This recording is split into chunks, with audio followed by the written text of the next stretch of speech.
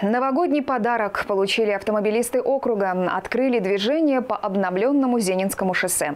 Весь год здесь продолжались масштабные строительные работы. Под реконструкцию попало чуть больше километра шоссе. Этот участок стал вдвое шире. Соорудили дорожную развязку.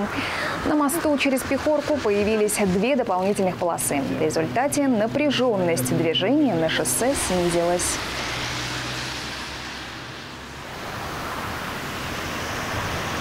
Ситуация была очень тяжелая. Большое количество людей ехали из э, городского округа Балашихи, и с городского округа Люберцы. Это Марусина, Зенина. Э, соответственно, здесь были большие заторы. Здесь был один мост двухполосный. Состояние его было не очень хорошее. На сегодняшний день мы с вами видим две полосы в каждую сторону, что позволяет нам беспрепятственно проезжать.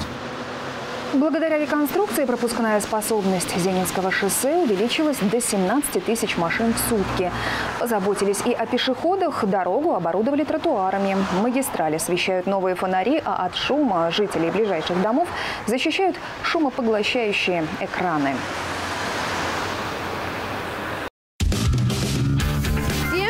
Привет! Я Анна Троян, вы смотрите ЛРТ. Подписывайтесь на наш канал на Ютубе и ставьте лайки. Будьте в курсе самых важных событий.